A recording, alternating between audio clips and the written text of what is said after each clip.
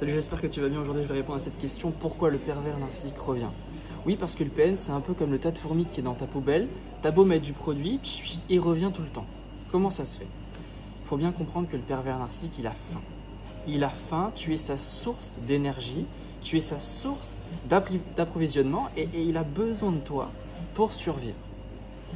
Et très concrètement, le, le pervers narcissique est un addict, un accro J'aime bien dire que le PN, c'est aussi un dépendant affectif, mais inversé. C'est-à-dire que lui, il veut pas donner de l'amour, il veut en recevoir. Mais il est exactement pareil, c'est-à-dire qu'il est complètement dépendant des autres. Il est complètement dépendant. Sans les autres, le pervers narcissique meurt petit feu, à petit feu.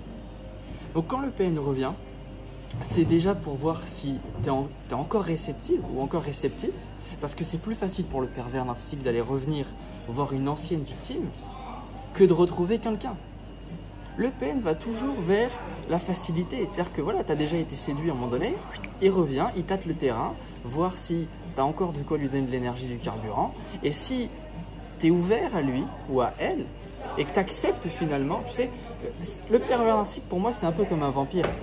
Tu sais, le vampire, la légende dit qu'un vampire ne peut jamais rentrer chez celui qui ne l'a pas invité. Et je crois que c'est vraiment vrai. Le PN, à un moment donné, il vient s'il sent qu'il y a encore une ouverture en toi. S'il sent qu'il y a encore un espace libre, il va, venir, il va, il va se coincer à l'intérieur. Mais si tu décides, encore une fois, de faire un énorme travail sur toi, de dépasser tes limites, de t'aimer, de t'accepter, de guérir tes failles, à un moment donné, le PN ne peut plus venir parce qu'il aura plus carburant. Tu ne pourras plus lui fournir de l'énergie. Et le PN, quand il revient, il y a aussi plusieurs possibilités. Des fois, il peut juste revenir pour tâter le terrain parce qu'il est en ce moment même avec une nouvelle victime mais il a l'intention de trianguler l'autre victime, donc il vient, je dirais, te rajouter dans le triangle pour créer de la jalousie et de la, rivalité. Plein d'explications. Mais retiens bien que le PN, quand il revient, c'est pour te faire réagir. Quand il revient, c'est pour t'absorber du carburant. Ok?